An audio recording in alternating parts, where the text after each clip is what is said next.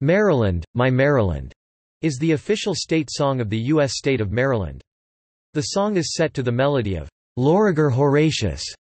The same tune, O Tannenbaum, was taken from. The lyrics are from a nine-stanza poem written by James Ryder Randall (1839–1908) in 1861. The state's General Assembly adopted "Maryland, My Maryland" As the state song on April 29, 1939, the song's words refer to Maryland's history and geography and specifically mention several historical figures of importance to the state. The song calls for Maryland to fight the Union and was used across the South during the Civil War as a battle hymn. It has been called America's most martial poem Due to its origin in reaction to the Baltimore Riot of 1861 and Randall's support for the Confederate States of America, it includes lyrics that refer to President Abraham Lincoln as the tyrant, the despot, and the vandal, and to the Union as northern scum, as well as referring to the phrase sic semper tyrannis, which was the slogan later shouted by Marylander John Wilkes Booth when he assassinated Lincoln. For these reasons, occasional attempts have been made to replace it as Maryland's state song, but to date, all such attempts have met with failure.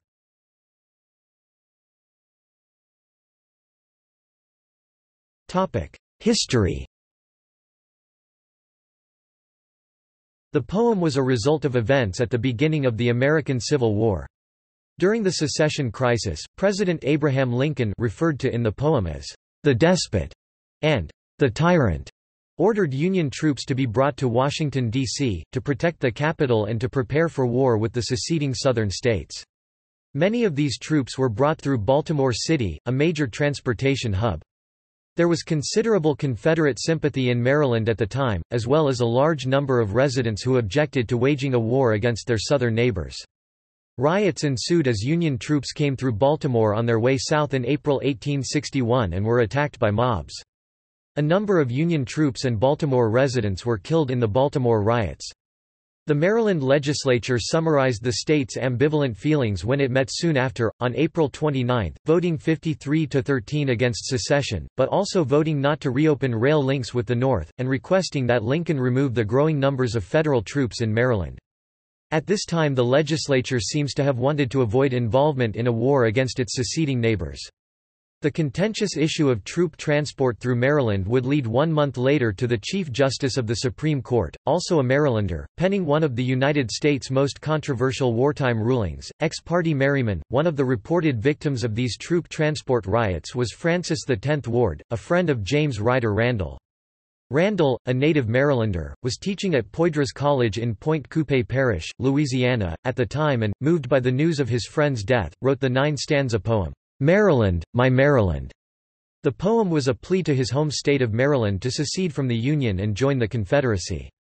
Randall later claimed the poem was written, almost involuntarily, in the middle of the night on April 26, 1861. Being unable to sleep after hearing the news, he claimed, "...some powerful spirit appeared to possess me.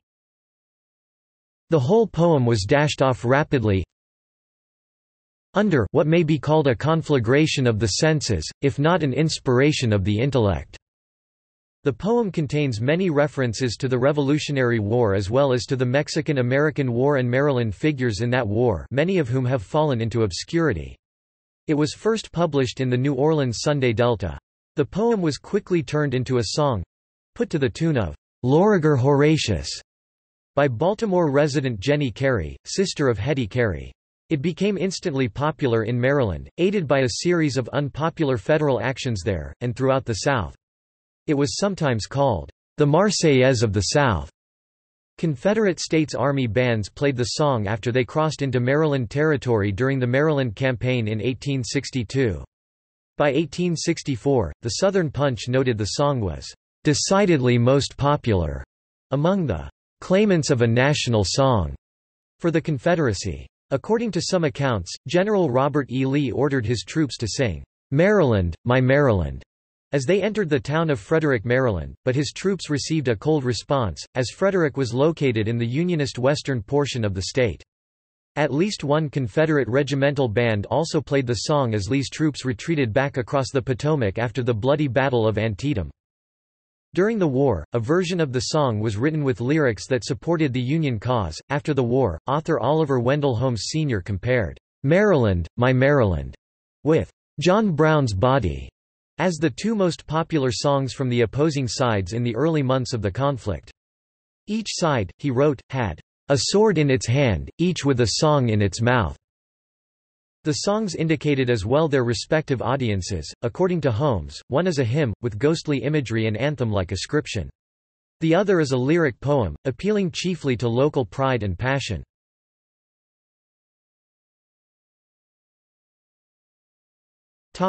Lyrics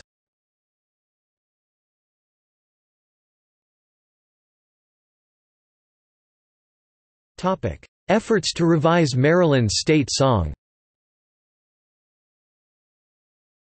Unsuccessful efforts to revise the lyrics to the song or to replace the song altogether were attempted by the Maryland General Assembly in 1974, 1980, 1984, 2001, 2002, 2009, 2016, and 2018. In July 2015, Delegate Peter A. Hammond, chairman of the Maryland House of Delegates House Health and Government Operations Committee, asked the Maryland State Archives to form an advisory panel to review the song. The panel issued a report in December 2015, that suggested that it was time the song was retired.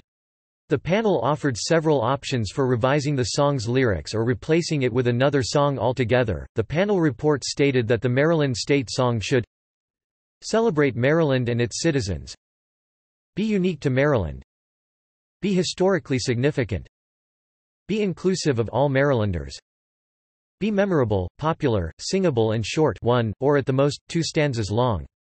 In 2016, the Maryland Senate passed a bill to revise the song to include just the third verse of Randall's lyrics and only the fourth verse of a poem of the same name, written in 1894, by John T. White.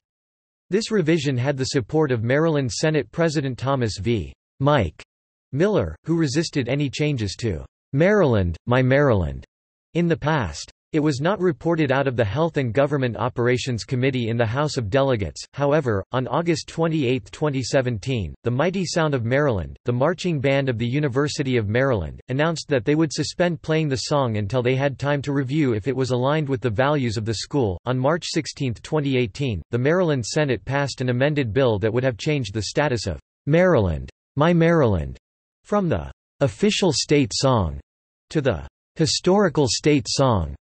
The bill received an unfavorable report by Health and Government Operations Committee on April 9, 2018.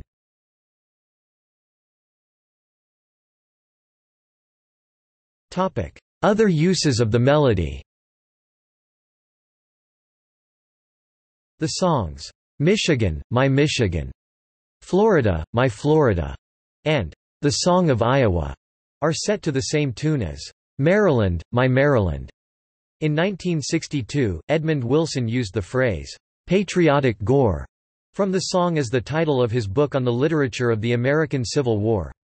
The third verse of "'Maryland, My Maryland' is sung annually at the Preakness Stakes by the United States Naval Academy Glee Club. In the film version of Gone with the Wind, Maryland, My Maryland is played at the opening scene of the charity ball when Scarlett and Melanie are reacquainted with Rhett Butler. This confused some viewers to think it was a Christmas ball with O Tannenbaum playing in the background. Kid Ory's Creole Jazz Band recorded an instrumental version of Maryland, My Maryland on 8 September 1945, in the New Orleans Jazz Revival, Bing Crosby included the song in a medley on his album 101 Gang Songs 1961.